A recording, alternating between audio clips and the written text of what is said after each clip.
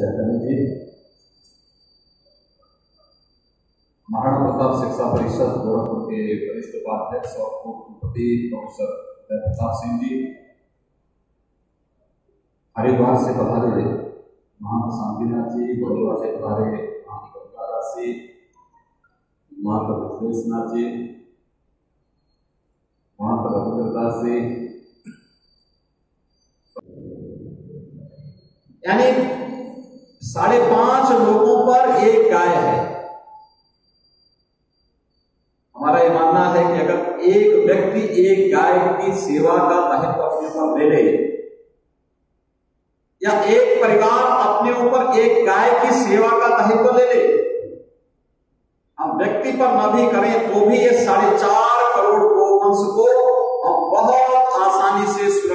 सकते हैं, इसका संरक्षण भी कर सकते हैं, इसका संवर्धन भी कर सकते हैं। और हम एक देश और दुनिया के सामने एक मिसाल प्रस्तुत कर सकते हैं कि गौ की सेवा भी होगी और वो हमारी आस्था की प्रतीक भी होगी और यही गो हमारी आजीविका की प्रतीक भी होगी। जिस प्रकार से वैज्ञानिक शोधों के माध्यम से उन्होंने आज अपना यहाँ व्याख्यान आचार्य देवव्रत जी ने हम सबके सामने किया है। मैं इसके लिए उनका एक बार पुनः करवाया बंद करवाने के बाद दूसरे चरण में हम लोगों ने एक कार्यक्रम प्रारंभ किया। है और वह क्या है कि हर जनपद में हम एक बड़ी गौशाला का निर्माण करेंगे, जहाँ पाँच हज़ार दस हज़ार गौ वंश को रखने की व्यवस्था की जा सके, उनकी सेवा हो सके। सरकार इसके लिए पैसा देगी लेकिन मैं समाज से कहूँगा कि सरकार इंफ्रास्ट्रक्चर खड़ा कर देगी।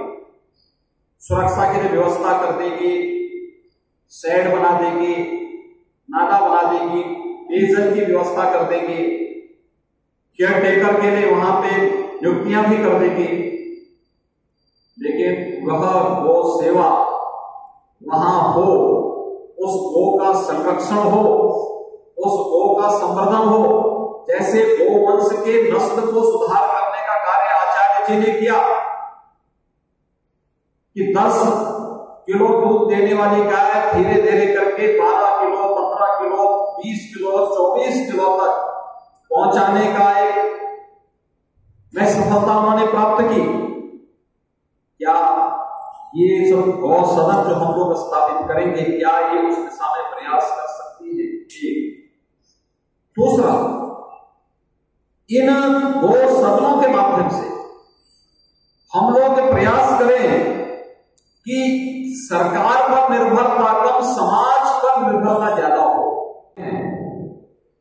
कि भारतीय नस्ल का जो गोवंश है, उसका अपना एक अलग महत्व है।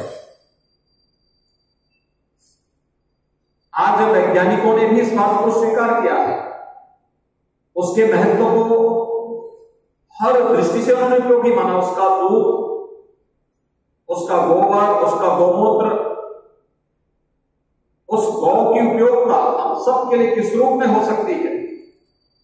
इस पर बहुत मुझे लगता है कि हर स्तर पर जो व्यापक कार्य और व्यापक शोध हो रहे हैं, वो अत्यंत महत्वपूर्ण है, बहुत उपयोगी है। और इसलिए हम लोगों ने प्रदेश के अंदर,